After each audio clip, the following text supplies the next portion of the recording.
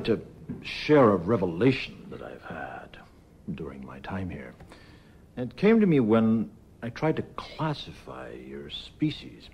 I realized that you're not actually mammals. Every mammal on this planet instinctively develops a natural equilibrium with the surrounding environment, but you humans do not. You move to an area and you multiply and multiply until every natural resource is consumed. And the only way you can survive is to spread to another area.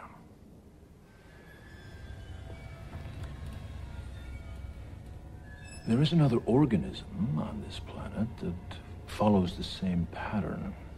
Do you know what it is? A virus.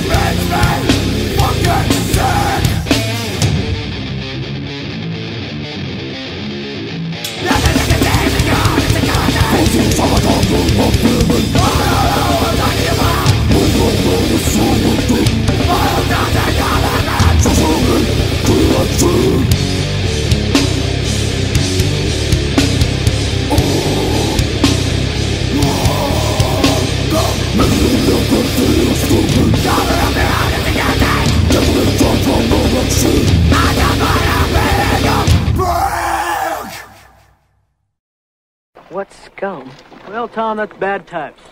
Politicians, bankers, cattle kings. Scum.